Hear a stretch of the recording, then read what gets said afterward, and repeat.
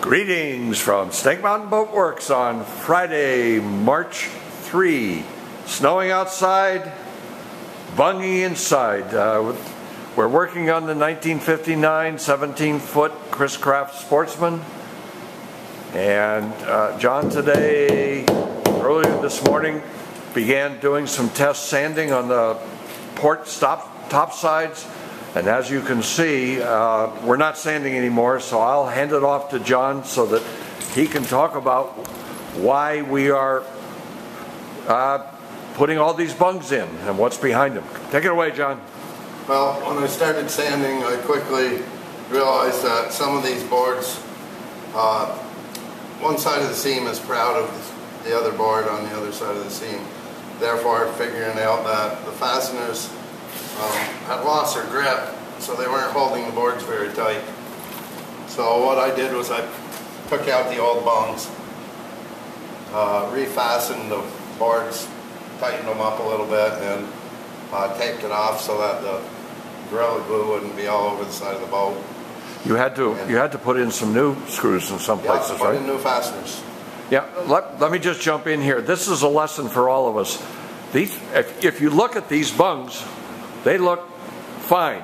And I, I was the one, I was the guy that did all the stripping, and I, they looked fine, so I didn't pay much attention. John got out the uh, one of our probes and discovered that also that a whole bunch of these bungs just fell out. I mean, they they were they were gone. Um, so I'll hand it back, John. Yeah, the um, the wood bungs, I popped them out and I replaced the fasteners. Um, that was the only way I could actually tighten up the boards. And then of course we have places where we have boards need some a little bit of repair. I'll use some um, mahogany Fixo epoxy when I um, fix these little cracks so that they won't be noticeable. And there's a few of them. Then we have, after I get these bungs in and cleaned up a little bit, and then I can run a router on the side of the boat. And I have, uh, I think, four Dutchmans on this side of the boat to do. They aren't very big, but we got to get the filler out of them and put in some wood so that they don't have big filler gouges in the side of the boat. Hey, John, I, I noticed that the uh, trim rail on the gunnel is gone. Yes, this this trim rail actually has some issues and it needs some work. This is the trim rail from this side of the boat and as you can see right there there's a nasty part that needs some work. I'll probably put a Dutchman on that. And the end of six inches on this one is broke right off. I'll actually have to extend it with a tapered piece on the end about six more inches.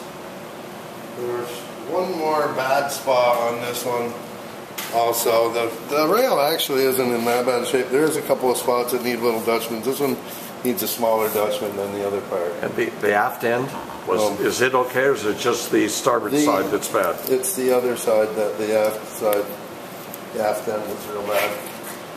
But this one here behind it we found was in pretty good shape.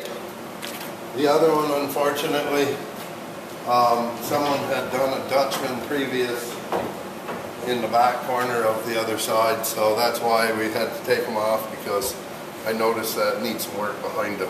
So it's rotted behind it. Right. And actually the rail's rotted at the last six inches right. or so, the, the rail badly rotted. Yes. Yeah. So the other one needs a little work also. So this reminds us, details, details, details when you're preserving a wood boat. Uh, a lot of us would have just gotten out the longboard sander. Bungs look good.